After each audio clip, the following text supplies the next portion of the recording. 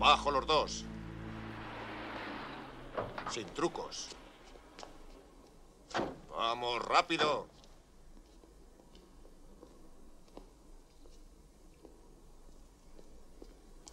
¿Pero qué pasa? Esta debe ser la mayor estupidez que hayáis cometido. Cállate. Andando, vamos. Cuidado, hay que largarse.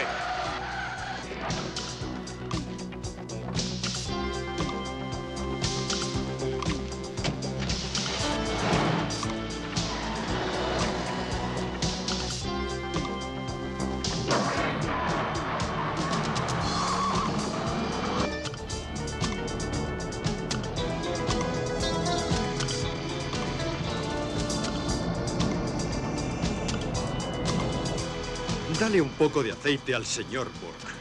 Será divertido, ¿eh?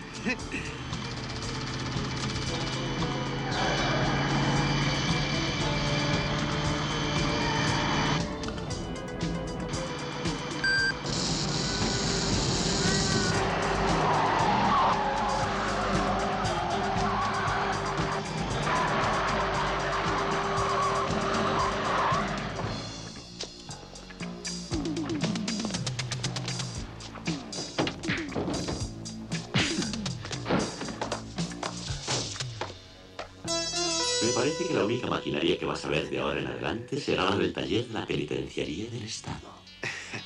Yo no hubiese sabido decirlo mejor. Vamos.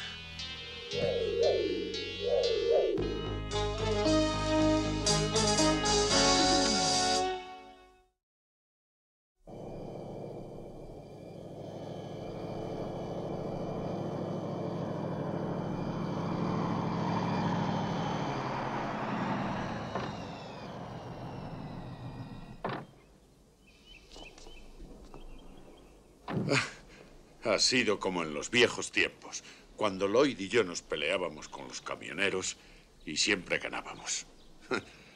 Claro que éramos más jóvenes. Éramos un equipo invencible. Pienso que aún lo son.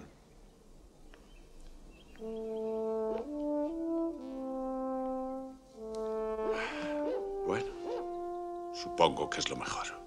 Frank, creo que debes saberlo. Fue Lucy. Ella llamó a Burke y lo preparó todo. Pudo habernos delatado, pero no lo hizo.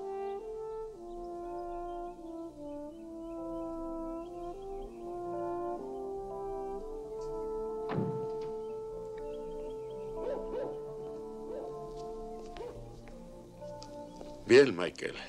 Gracias por todo. Si encuentra una buena mujer que quiera vivir en una bonita casa, llámeme. Adiós.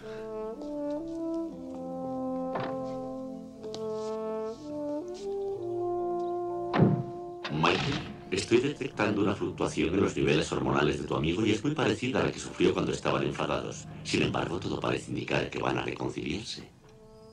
Yo puedo detectarlo también.